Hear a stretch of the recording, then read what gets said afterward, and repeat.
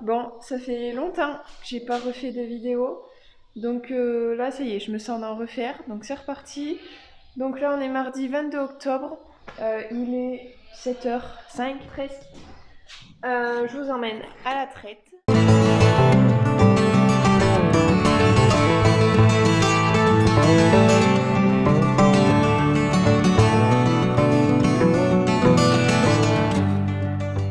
Donc là, il y en a, elles bêlent pas mal parce que. Ça bêle pas mal parce qu'il y en a qui commencent à aller à bouc. Voilà, on est euh, mi-octobre.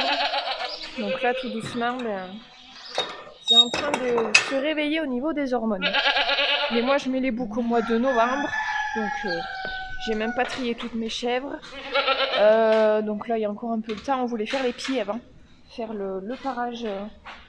La taille des ongles. Là, actuellement, il y a 178 laitières. Voilà, il y a du monde. Il y a un côté en lactation longue. Et ce côté amoeba ce printemps. Et ce côté aussi. Là, c'est toutes les primipares. C'est toutes celles qui sont nées l'année dernière.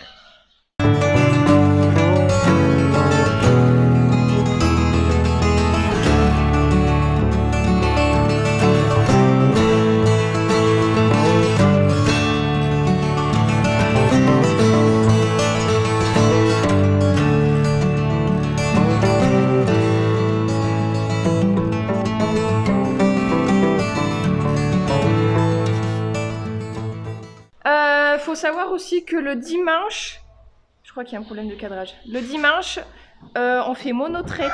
On a attaqué ça au Tototo. On a attaqué ça le 6 octobre de faire de la monotraite. Donc euh, le dimanche soir, on traite pas. On traite que le matin. J'attaque de traire à 9h. Avant, je donne à mes chevrettes et à mes boucs.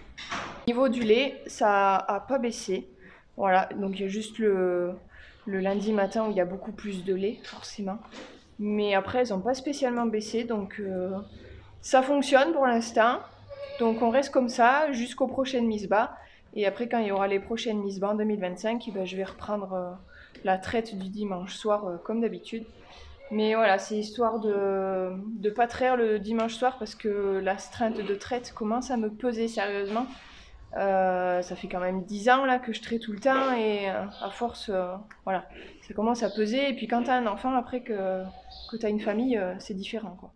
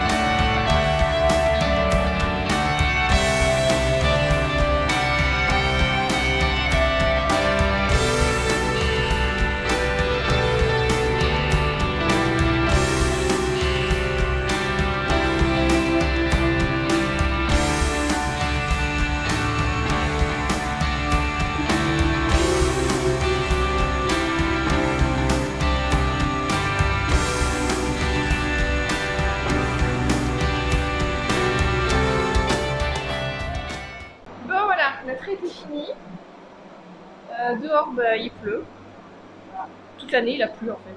Ça, ça change pas. Il fait beau, c'est très rare. Hop Allez Jana Donc du temps que j'étais en train de traire, euh, mon copain qui est aussi mon associé a fait la mélangeuse. Et là, chut, Jana Et là, il était en train de pailler.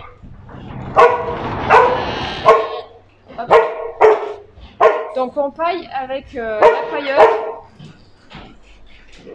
On paille avec la pailleuse parce que Jana On a fait cet achat pour les poulaillers, donc pour les volailles. Et depuis, ben, on s'en sert aussi pour les chèvres, hein, ça évite de pailler à la main.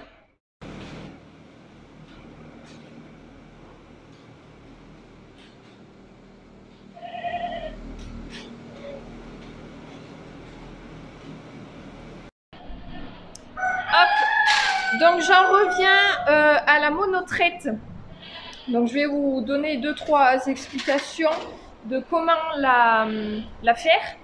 Donc il y a deux trois points à, à respecter quand même. Donc il faut euh, faire ça en fin de lactation. Donc à cette époque ça va bien parce que voilà le pic de lactation est passé depuis un moment.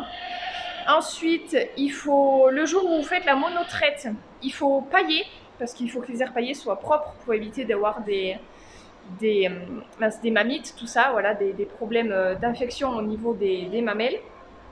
Et ensuite, au niveau de euh, la ration, nous, on a diminué l'aliment. Voilà, donc le, le, jour où on fait la monotraite, donc le dimanche, on diminue la, le concentré et on reprend après normalement le, à partir du lundi. Il ne faut pas dépasser 21 heures entre la traite, donc moi par exemple, du dimanche matin et celle du euh, lundi matin. Voilà. Faut pas dépasser 21h. Qu'est-ce qu'il y a toi?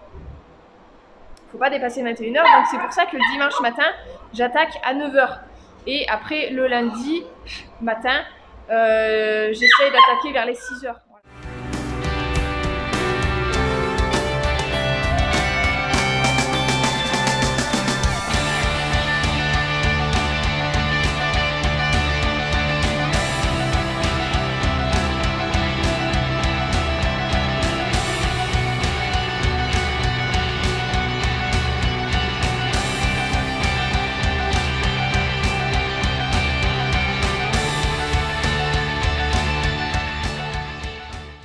Chèvres par rapport à la production de lait, euh, ça a diminué à cause de la FCO. Euh, on a perdu euh, 0,5 de moyenne parce qu'au dernier contrôle laitier euh, du mois de juin, on était à 2,7 de moyenne du troupeau. Et là, on est tombé à 2,2. Euh, donc voilà, c'est c'est embêtant hein, forcément, mais bon, si vous voulez qu'on y fasse, là la FCO, euh, c'est tout le monde qui l'a. Donc, euh, nous, on a bien été impacté voilà, sur la production laitière.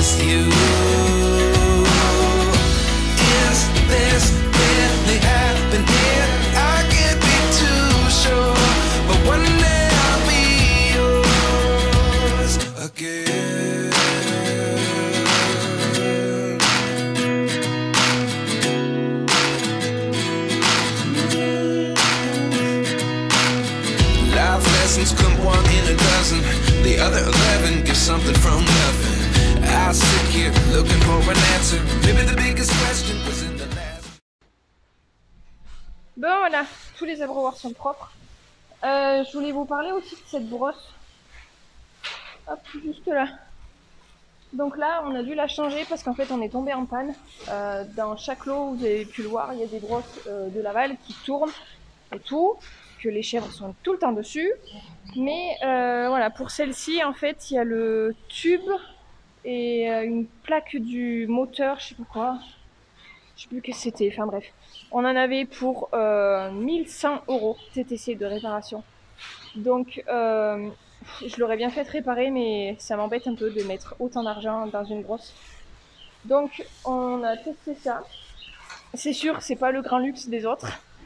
Euh, quand je leur ai mis ça, elles se sont dit mais qu'est-ce que c'est que ce truc qu'elle nous met là? Mais bon, elles s'y grattent quand même un peu après. Hein. C'est sûr, elles y sont beaucoup moins dessus que les autres. Les autres, c'est vraiment du high tech et elles en sont folles de ces brosses. Mais voilà, c'est super cher, donc euh, pour l'instant, on la fait pas réparer.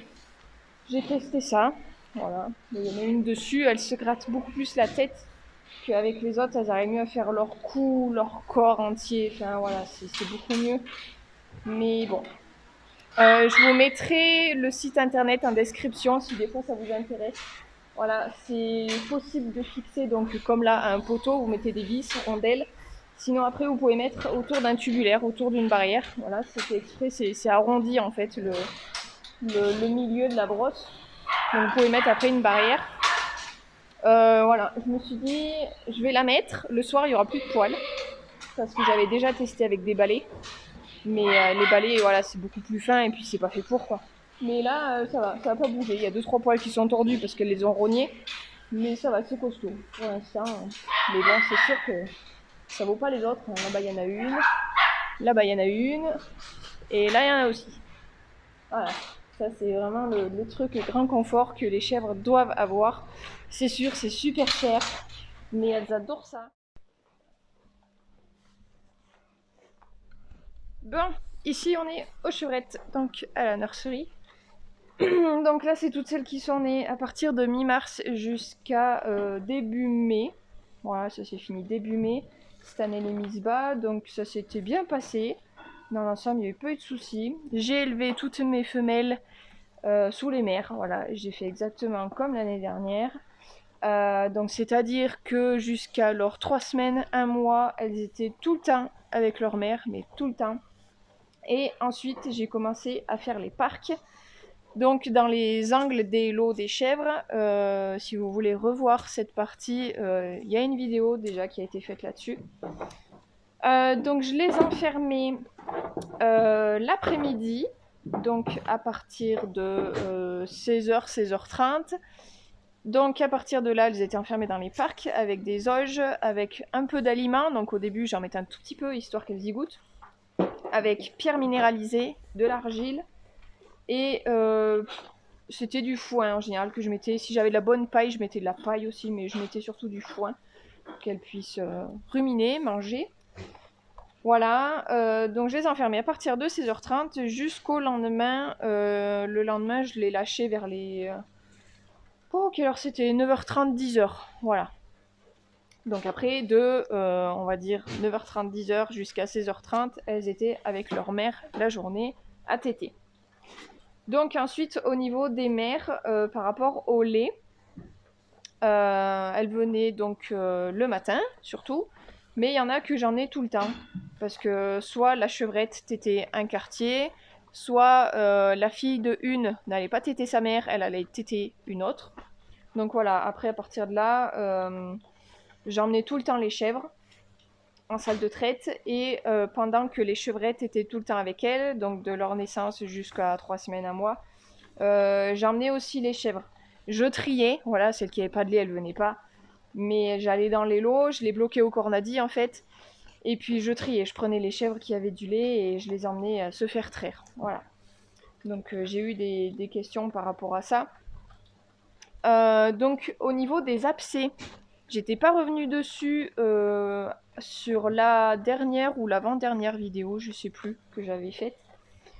Donc les abcès caséeux, euh, on les a depuis euh, fin 2023, si je me trompe pas, ça fait un an qu'on a ça. Euh, donc euh, ça a été la galère pour trouver d'où ça venait. Mais à force, on a réussi à diminuer le problème. On l'a pas résolu à 100%, mais on l'a diminué. Donc, à force de chercher, de chercher, d'essayer des choses et des choses, euh, j'ai fini par me rendre compte qu'en fait, mes chevrettes n'étaient pas euh, minéralisées comme il se doit. Et pareil pour les chèvres laitières. Donc, à partir de là, au niveau des chèvres, euh, en fait, le, minéral était incorporé dans l'aliment. C'est-à-dire qu'il y avait un certain pourcentage de de minéralisation. Mais quand il est incorporé dans l'aliment, donc dans le bouchon de l'aliment, euh, les, les ceux qui les fabricants d'aliments en fait ils peuvent pas mettre le pourcentage qu'il faut pour couvrir les besoins de l'animal. Ils peuvent mettre un certain pourcentage sauf que ça ne couvre pas les besoins de l'animal. Et euh, si ils mettaient tout ce qu'il fallait pour les chèvres ou pour les vaches l'aliment ne se tient pas en fait. Ça serait que de la poudre de la farine. Donc c'est pour ça qu'ils peuvent pas tout mettre.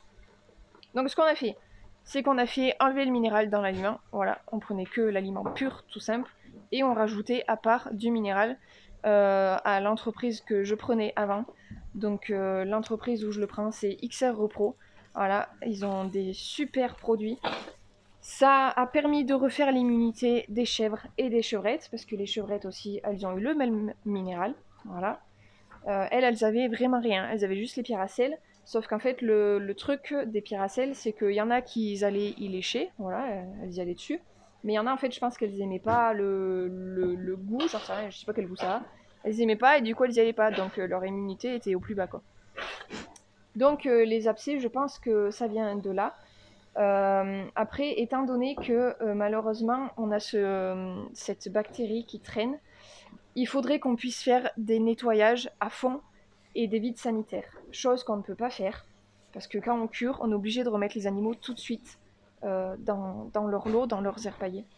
Donc ça c'est problématique parce que du coup on ne peut pas euh, éradiquer la bactérie à 100%. Il y a toujours la bactérie qui est présente. Donc il y a beaucoup moins d'abcès que l'année dernière, mais il y en a toujours. Donc voilà, euh, ce qu'il faut faire en fait c'est jouer sur l'immunité et l'hygiène. Il faut qu'au niveau du cuivre, du zinc, des oligoéléments, des vitamines, il faut être au taquet. Voilà, il faut que les animaux puissent se défendre, avoir une bonne immunité, parce que le fourrage, quand il est pas bon, il est pas bon, ça apporte rien. Et après, je vais essayer autre chose à la fin de l'année, quand ça sera la période où il y aura du hou, avec les boules rouges, je vais essayer d'aller trouver des branches, ou de demander à quelqu'un s'il a du hou, euh, que je puisse avoir des branches pour pouvoir en fait les suspendre après la charpente au-dessus des aires c'est un truc des anciennes générations, ça, parce que en fait, les anciennes générations, ils mettaient tous de ça dans les étables, dans les bâtiments. Et ça dit en fait que quand euh, la branche sèche, il y a la boule rouge qui sèche, et au niveau des maladies de la peau, donc tout ce qui est maladie cutanée, ça assèche euh, toutes les maladies que les animaux peuvent avoir. Alors là, euh, on y croit ou on n'y croit pas, ça marche ou ça marche pas. Mais là, cette année, j'ai fait tout ce qui était minéral, minéralisation, tout ça.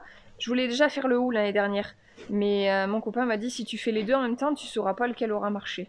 Donc c'était vrai d'un côté, mais bon après le hou c'est un peu, euh, voilà, c'est des croyances tout ça. Mais bon, ça n'empêche pas d'essayer. Donc là cette année, je vais essayer de me trouver du hou. J'en suspendrai euh, à la nurserie et j'en mettrai aussi au bâtiment, au-dessus les airs paillés des chèvres laitières. Et puis on verra bien. Hein. De toute façon, ça coûte pas grand-chose. Et puis si ça marche, et ben après il faut changer le hou tous les ans. Voilà, parce qu'après il sèche, il a plus d'efficacité. Mais si il euh, y a des éleveurs qui font ça, que ce soit en n'importe quelle production animale, dites-moi si ça fonctionne. Parce que je serais curieuse de savoir. Il euh, y en a pas mal qui les mettent en vache dans, dans les euh, étables entravées, tout ça.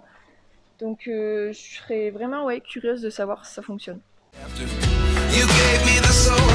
Today. Without you, I never could have moved away. But now I see what you teach. I do believe I always should have stayed. Yeah.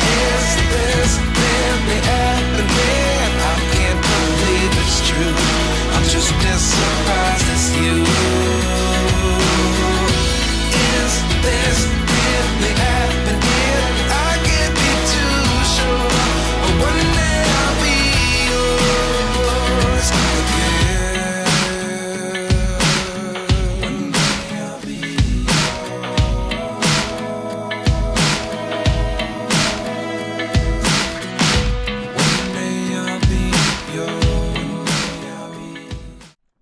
on continue la matinée. Donc là, je suis au poulailler. Donc ça c'est la production que mon copain a décidé de faire pour son installation. Donc il s'est installé en 2018, on a créé le GAEC. Donc les poulaillers c'est en intégration, donc on travaille en ce moment avec euh, Oravol. Donc c'est des poulaillers de 400 mètres carrés chacun avec des parcs extérieurs parce qu'on fait de la volaille de chair, donc c'est des poulets. Donc euh, là on a attaqué de, préparer parce que les poussins arrivent jeudi. Donc euh, voilà, il faut finir d'écarter la paille. On a fait le bâtiment du haut euh, hier. Et, et, puis voilà, donc là je vais mettre un peu de lumière parce qu'on n'y voit rien. Et puis ça sera parti. Alors éclairage, je sais pas si ça va allumer. Si, donc par poulailler, on peut mettre 4400 volailles. Voilà, donc ça fait un total de 8800 euh, en tout. Mais on n'est jamais au taquet à fond parce que voilà, il y a de la perte. Et puis euh, voilà, donc euh, nous il y a juste à faire le boulot. Donc on nous emmène les poussins, l'aliment est livré. Donc après c'est tout déduit en fait sur le montant qu'on touche.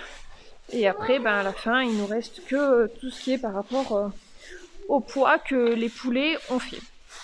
Voilà, donc euh, là le fumier a été sorti il y a trois semaines et après il y a le lavage et la désinfection qui se fait.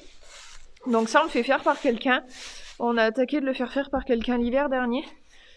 Euh, et tout se passe très très bien avec cette personne. Ça nous évite de le faire parce qu'il faut savoir que c'est environ 4 euh, heures de karcher par bâtiment. Et mine de rien, c'est du travail. Et quand ça tombe pendant la période, quand ça tombe pendant la période des fenaisons ou autre, c'est assez compliqué. Euh, ça fait beaucoup de boulot. Et il faut être partout. Donc euh, voilà, on le fait faire par quelqu'un, mais non. Et c'est très très bien. Ça se passe très très bien comme ça. Donc euh, on continue de faire travailler cette personne. Voilà, allez, c'est parti pour tout finir d'écarter. Il me reste que le milieu là. Hier j'ai fait les deux côtés. Et après, il faudra tasser la paille. Parce que si on tasse pas la paille, en fait, euh, les poussins, ils se perdent dans la paille, ils vont dessous. Et le mieux, c'est de tasser. Comme ça, moins, ils, sont bien, bien dessus et ils se cachent pas. Il y a juste euh, quand, quand voilà, je paille, je cache les entrées des, trappes qui vont à l'extérieur.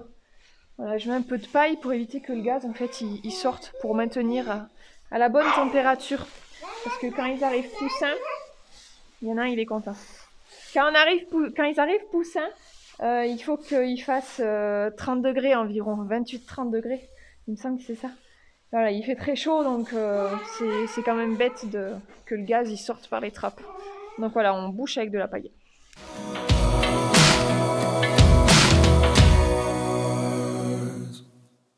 Life lessons come one in a dozen. The other eleven get something from nothing. Life lessons come one in a dozen. The other 11 get something from nothing.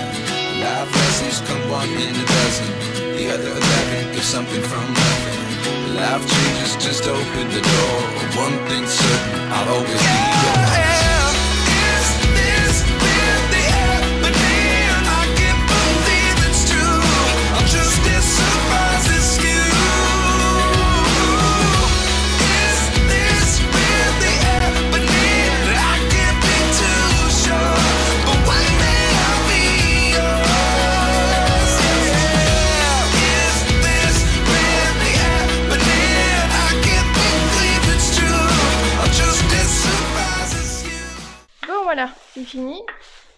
Pas froid, mais ça réchauffe. Oui Hop Donc là, je vais arrêter la lumière.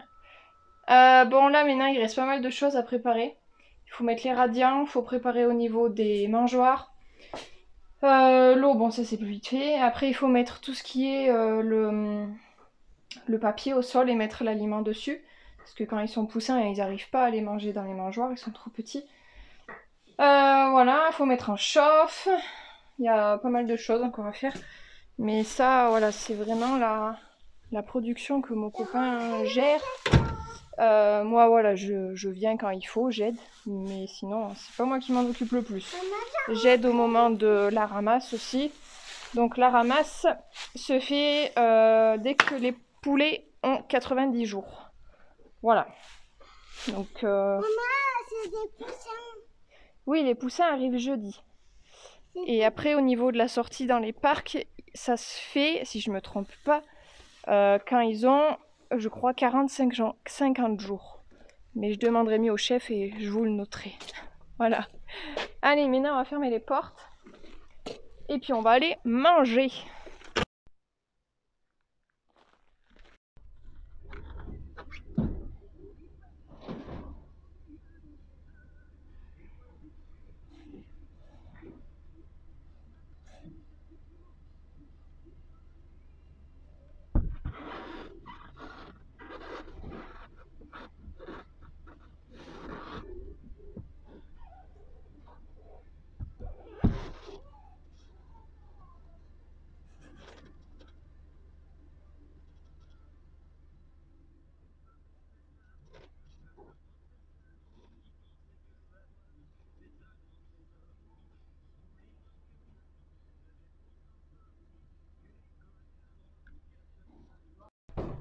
Bon, là, mon copain, il a aplati toute la paille. Et là, on, en- on est en train de mettre les radiants. On est en train de mettre les radiants, donc on le fait avec le pick-up. Tous les radiants sont dans la caisse. Et lui, il monte dans la caisse et il met en place tous les radiants et moi, j'avance. Voilà.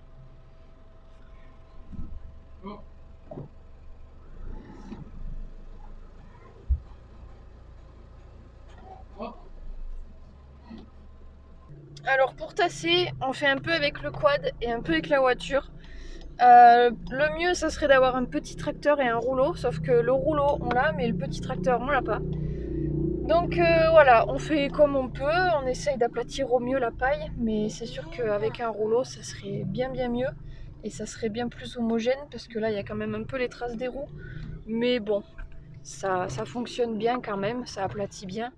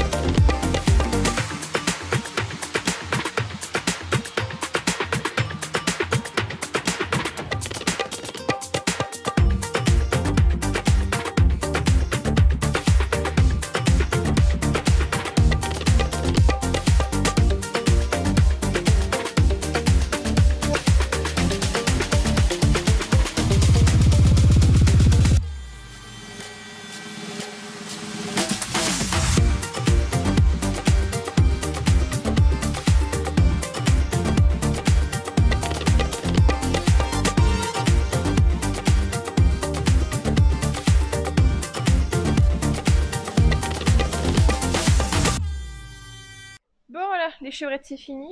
Donc ici, elles n'ont pas été trop malades. Euh, on les a vermifugées, euh, je sais plus trop à quelle période c'était. C'était dans l'été, je crois, vers le mois de juin, je m'en souviens plus. On les a vermifugées et on a aussi fait le traitement pour la coccidiose parce que je l'avais pas fait au moment du sevrage, grosse erreur de ma part. Et euh, du coup, il y en a trois qui sont mortes à cause de la coccidiose.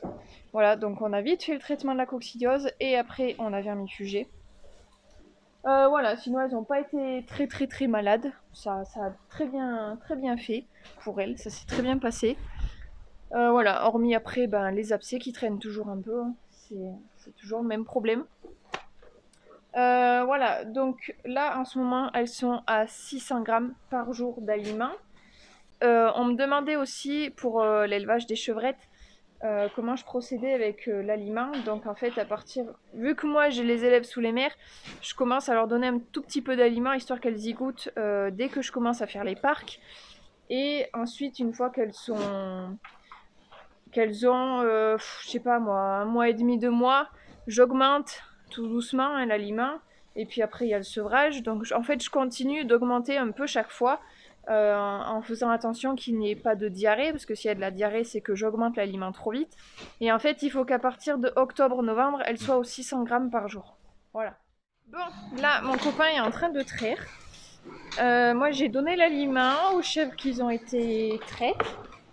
Et euh, après, il y aura le foin à distribuer.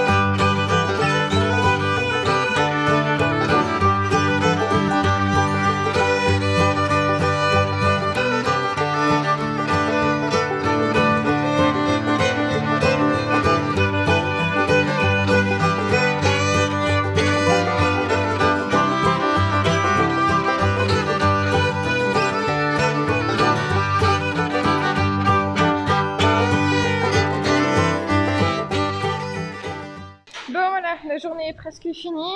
Il reste juste le euh, nettoyage de la salle de traite et le lavage, voilà. Comme à chaque fois. Et puis on se retrouve euh, demain. Bonjour tout le monde, nous sommes le lendemain, donc mercredi 23 octobre. Là on va finir la préparation des poulaillers, donc on va mettre en chauffe et mettre le papier sous les pipettes d'eau et mettre l'aliment dessus. Voilà, comme ça moi ça sera tout prêt pour demain, pour l'arrivée des poussins.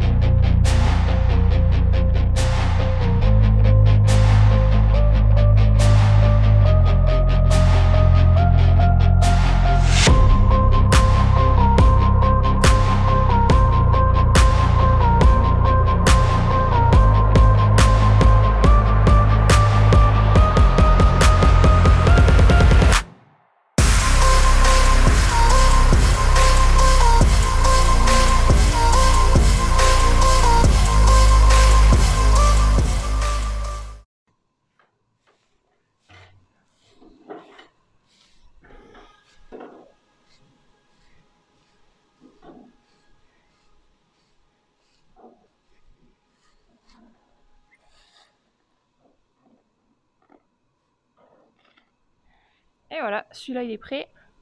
Donc là c'est du papier qui se dégrade tout seul avec le fumier. Il n'y a pas besoin de l'enlever.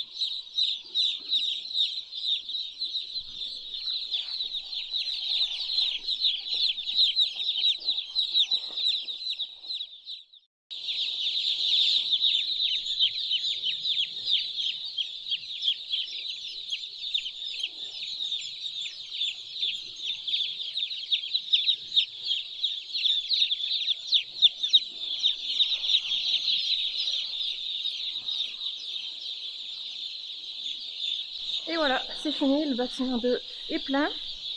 Il fait chaud, très très chaud. A quasiment 30 dans le bâtiment, j'ai mes lunettes, elles descendent toutes seules. De bon matin, c'est speed. Voilà, allez, on les laisse tranquilles maintenant. Et puis bien au chaud surtout. Bon voilà, cette vidéo sur les volailles est terminée. J'espère qu'elle vous aura plu. Voilà, c'est la deuxième production qu'on a. Je me suis dit ça serait intéressant de vous la partager. Donc dites-moi en commentaire si ça vous plaît, si vous, voulez voir l'évolution, tout ça. Euh, voilà, donc là on continue la journée avec les chèvres. Et puis voilà, je vous dis à bientôt pour une prochaine vidéo. Salut, bonne journée